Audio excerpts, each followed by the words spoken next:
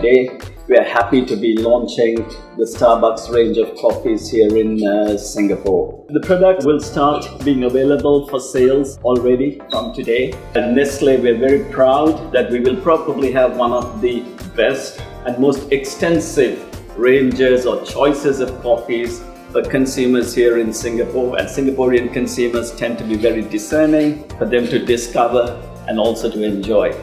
Okay, so today we are actually introducing 11 products, 5 of which comes in roast and ground as well as whole beans.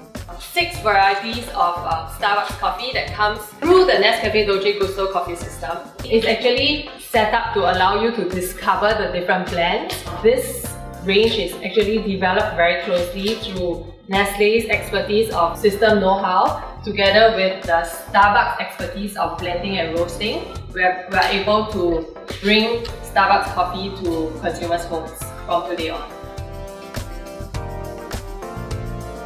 But what exactly is coffee that makes coffee? If it's just a, you know, it's just a liquid, then it tastes sour. Or it's actually the aroma, and aroma comes from our nose, right? So that's what we are trying to draw out when we brew coffee.